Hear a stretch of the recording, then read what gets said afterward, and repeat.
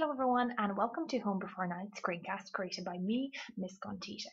So today we're going to focus on the social setting of the novel Home Before Night by Hugh Leonard. Um, as I know that a lot of students find it very difficult to kind of know and understand where to start, what to include and what to write about. So what will you learn about in this screencast? So first of all we're going to look at what social setting is. Okay, then we're going to focus on some exam questions, which will be rephrased to make it a bit easier for you to understand. Um, of course, we're going to focus on the class distinction in the novel because I think that is kind of the most important part of it.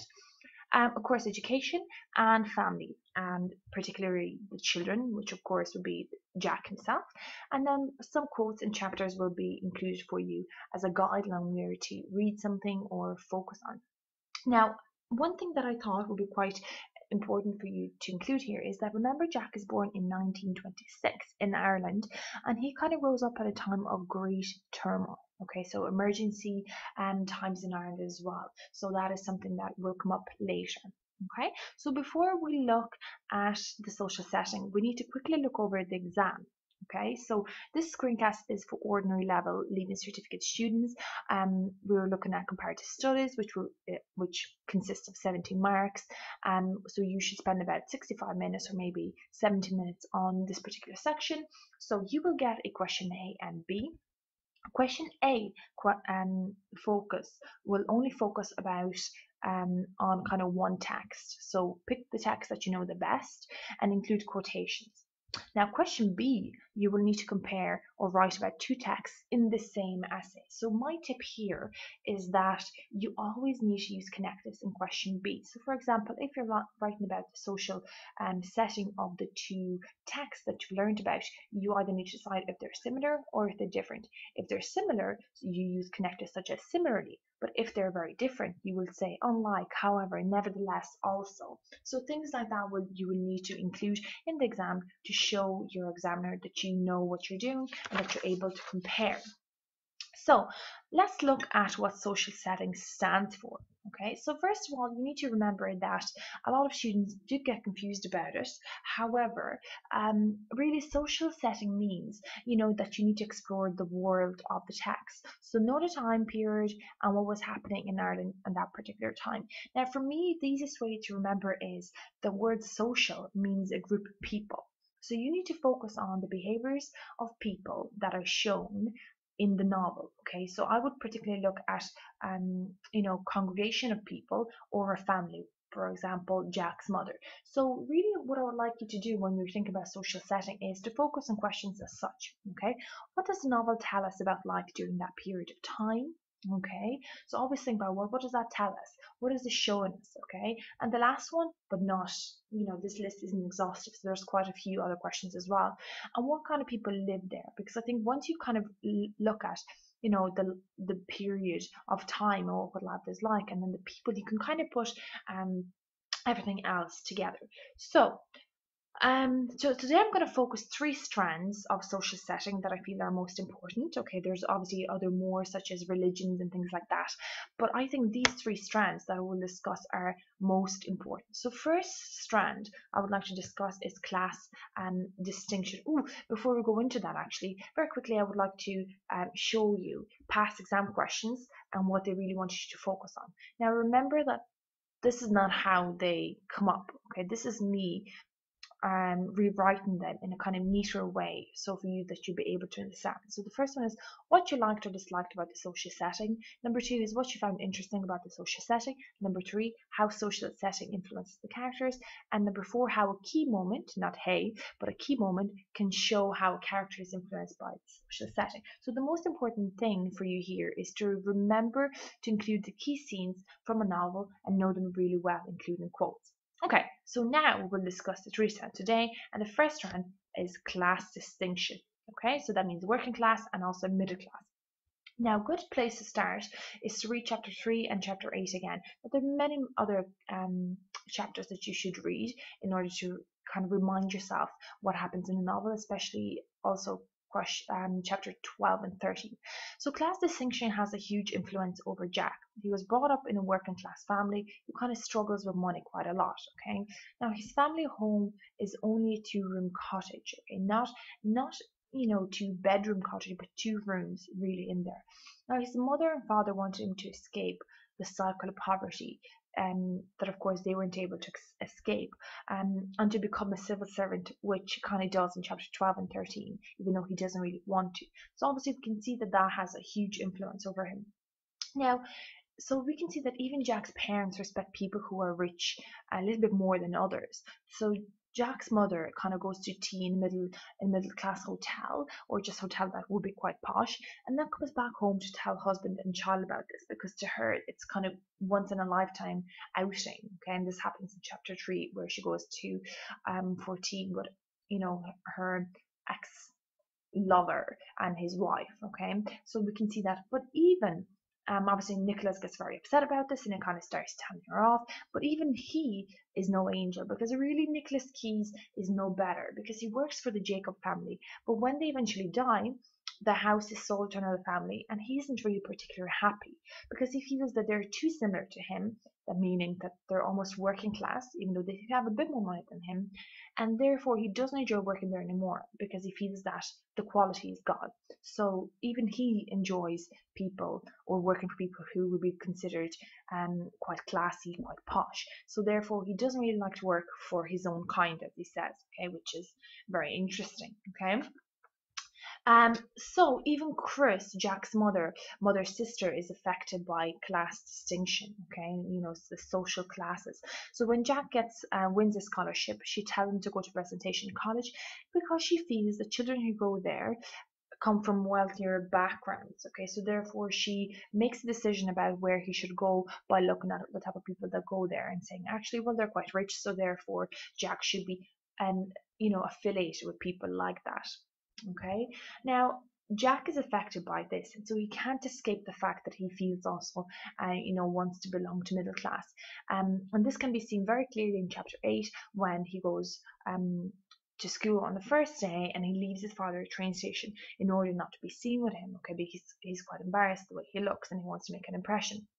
And then, of course, what, there's a child, when his father does kind of follow him to school and stands outside the gate, there is a child that says, perhaps the old gentleman belongs to you, to Jack. Okay.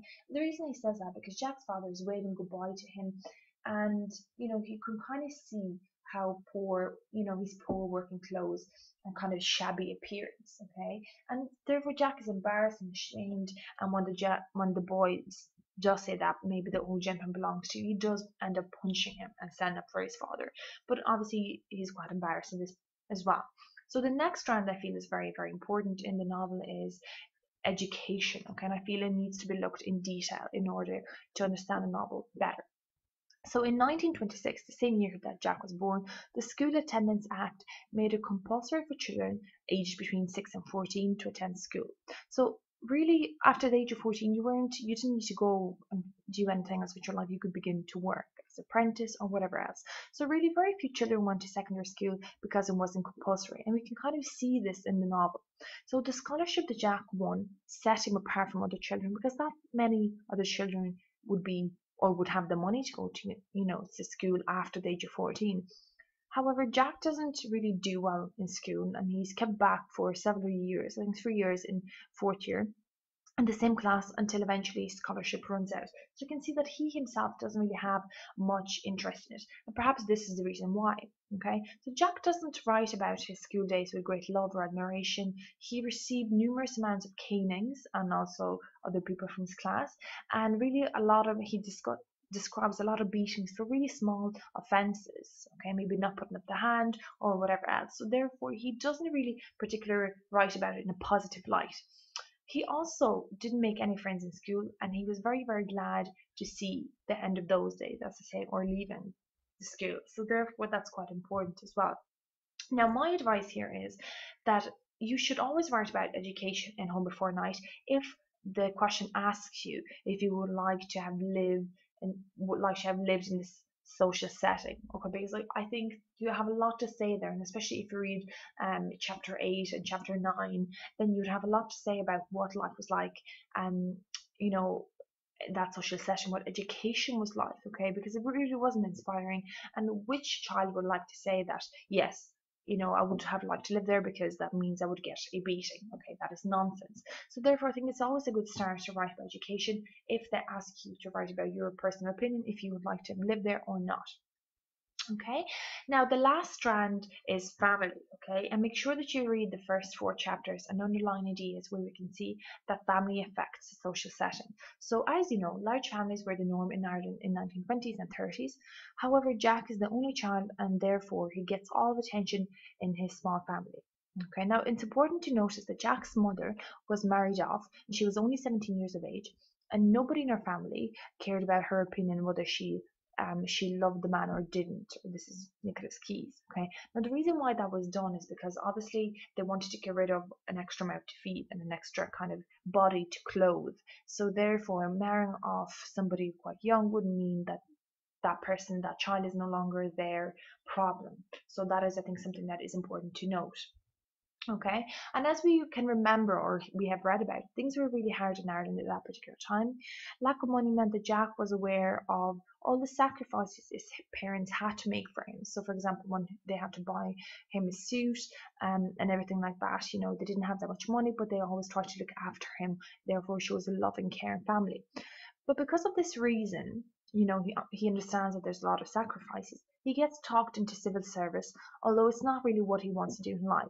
Okay, and he does this to please a lot of his uncles and aunts because they feel that um, being a social servant meant that you're going to be a middle class person.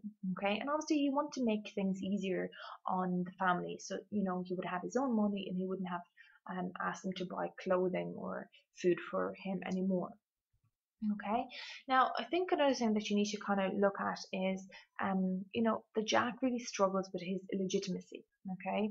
Um, and his mother, whenever she's angry, she uses kind of against him, saying that if he's going to be naughty, she's going to give it back to um his, you know, birth mother. Now, another thing that she does, she also gets sympathy from others when she says that he's adopted. And we can see that in chapter um, 12 with Mr. Drum when she told the story of Jack being adopted. Um, it's because she wanted to look good, but also to feel other people's make kind of sad for Jack and therefore perhaps give him, you know, the benefits. And for in this instance, Mr. Drum perhaps giving a job to Jack. Now you have to remember that at this particular time, you know, adopting children was seen almost as a risk. And there are a lot of people were afraid to do that because they thought that child could turn out to be kind of negative influence or maybe even um, you know, a murderer, worst case scenario, or somebody who wouldn't really fit in. And also could be unhealthy, which would mean that they would have to spend a lot of money to kind of make sure that he is healthy again. And we can see in chapter two where um Jack's mother speaks to two girls on the train, and she says that a lot of people said to Jack's mother that he'll turn on you. So this would be kind of the views on the family that you know if he's not your own child, you shouldn't adopt him because there's so many risks and so many worries about adopting somebody who's not one of your own, if that makes sense. Okay, so I think that's quite important and should be discussed as well um, about the social setting. So we reached the end of this screencast. I hope that you enjoyed it and most importantly learn something. Um, also, please remember to visit my educational blog, which is gigontite.wordpress.com. It's called The Scholar, and it has all these kind of cool and funky videos. So if you want some more, you know, help with um, Elizabeth Bishop, the fish, it's on there, and other cool videos.